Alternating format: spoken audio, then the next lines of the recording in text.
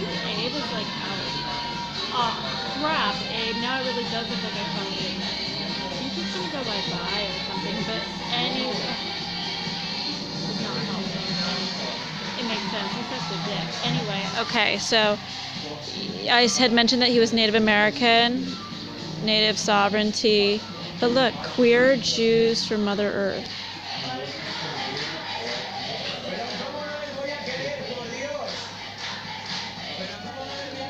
for his looks, you guys, for his looks.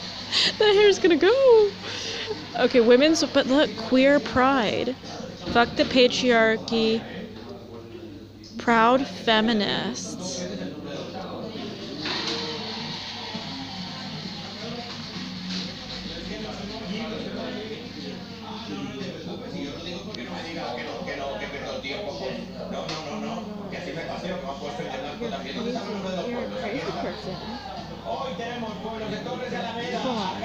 I told you he was good at sketching. He is. That's. I think that's good.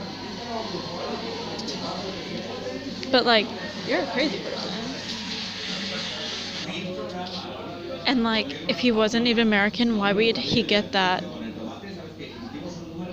Witches of Instagram. I told you. Live magic. I told you. Why would he get that on his forearm?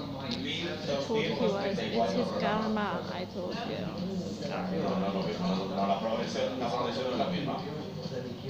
Oh. Está mejor Belén, está por lo de Toño esta mañana. Sí.